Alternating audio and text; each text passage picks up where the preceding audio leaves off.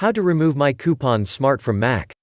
My Coupon Smart is a browser hijacker that can get your browser configurations corrupted and spoil your browsing experience with constant redirection and sponsored by third-party advertisement.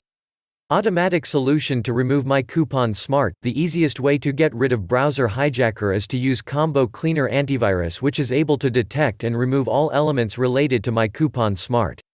It has a powerful and convenient application allowing to cope with any threat in just a few clicks.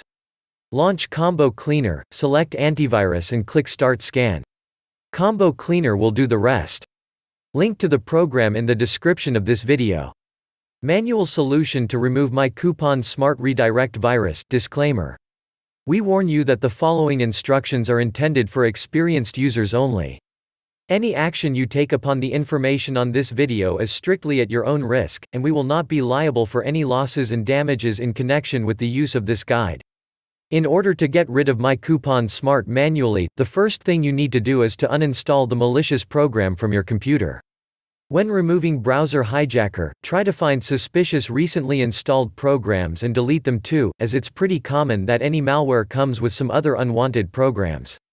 To do this, launch Finder and select Applications in the left tab. Now, check if there are unknown apps that you've never installed. Drag them to the trash. Next, in the upper menu click Apple icon and choose System Preferences. Click Dots icon to show System Preferences tab. Select Profiles at the bottom of window.